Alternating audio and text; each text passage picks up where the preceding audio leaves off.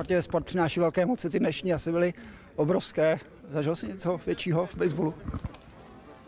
Moci byly veliký, no tak pro spoustu z nás skončila jedna životní kapitola, která nás naplňovala jak mimo hřiště, tak na hřiští.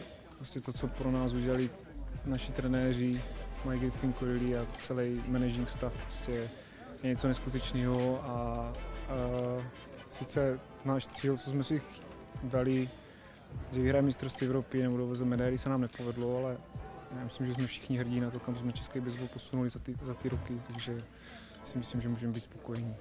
Jsi byl u všech posledních těch šampionátů, poslední tři páté místo. Co tomu chybělo? Ten jeden moment. Čím to, nebo jak to zlomit? Těžko říct, to se hrozně blbě soudí. Vždycky prostě to byla maličko, vždycky jsme byli jeden nahoz od, od medaile, jeden out od semifinále, prostě je to strašně to bolí, ale takový život, takový sport, no, tak prostě se nám to nepovedlo, ale jak říkám, myslím si, že můžeme být hrdí na to, co jsme předvedli a, a doufám, že na nás jsou hrdí naši fanoušci. Je to definitivní konec své prezentaci? Ano.